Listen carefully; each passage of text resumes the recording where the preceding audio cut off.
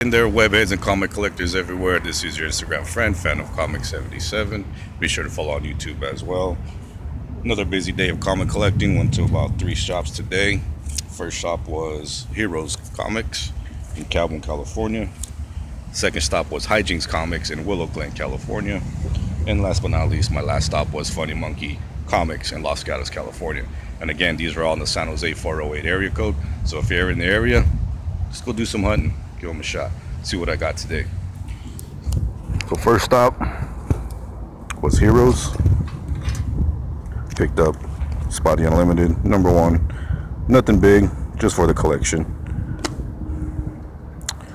Amazing 88, Arms of Doc Ock. Like this pickup, again, just for the collection, but nothing special. This one here I'm very excited about. Amazing 155. Who done it? I don't know. Gotta read to find out no one I picked up. It's Batman Death in the Family. Really like this cover. I got the trade paperback of Death in the Family.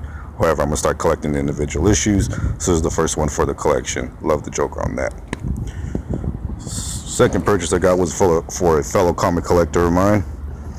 One of my buddies, buddy Brad, can't get out to the comic shops as much as he wants to, nor probably doesn't have that much of a choice when it comes to LCSs put in a request, say, hey, can you pick up Venom 5 and 6 for me? Hey, Brad, got your back. These are officially yours, and they are on, the, they are on, their, on, your, on their way. Excuse me.